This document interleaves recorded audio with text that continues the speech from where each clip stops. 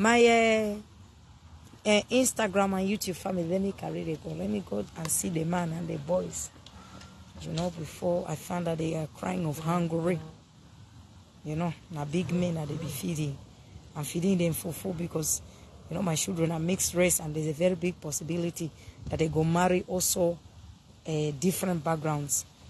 Indian, um, Asian, uh, uh, how you say it, Muslim, Caucasian, different. So I want to make sure that they are strong because you never know. And if they want to marry African, there's also a very big possibility because they love this African mama that Jesus gave them. There's a very big possibility that they want to marry an African woman. I want them to make sure that they have strong hands on wedding day. They carry woman with full power because their papa almost dropped me. But anyway, let's not laugh at him because I was pregnant. I was already less than six months pregnant, five months pregnant. Hoi meneer, hoi mevrouw. Ben je aan het opnemen? Yeah. Thank you, Will. so, I want to make sure that they are strong. Because when their papa lifted me, he was Dutch. They gave him potato, but he never had fufu. He couldn't carry me.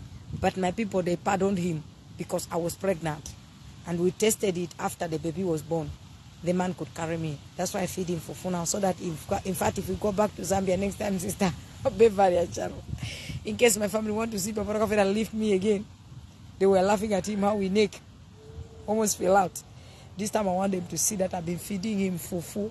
I've been giving him shima, ugari, saza.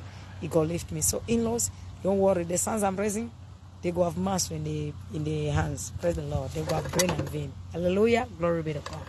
They will let's carry the Idris. I'm Beverly. Let's. Carry the go. See you people by the way and the grace of God. Bye bye, my TikTok family. Let's move in the way of God. Beverly and Sharon, I don't see you. Why are you not talking? In fact, before we close, please let's remember to help feed out the need, please. This afternoon, I had to help somebody, and it's so sad I had to, to refuse for one person and help one person. Please, my brothers and sisters, Sharon and Beverly, with me, I am fine. The Lord has got me. You never have to worry about me with headache. Please, let's remember the people who don't have. I'm begging you. There are a lot of people who still need that help. Let's not forget about it. Because those people, if we forget about them, it's when our friends start going back now doing wrong things because they were desperate for money. Please, my sisters, remember me. Help me out to feed the need. I will appreciate that. God bless all of you. Let's close. Let me let me close this thing. Bye bye, everybody. Bev, Sharon, and everybody. I love all of you. God bless all of you. And I'll see you people tomorrow by the way and the grace of God. Bye bye.